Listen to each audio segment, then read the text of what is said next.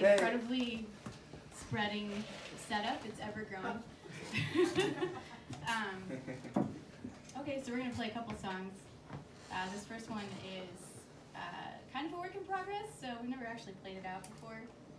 Um, it's kind of about juggling creativity and the rest of your life, which turns out is not super straightforward and easy.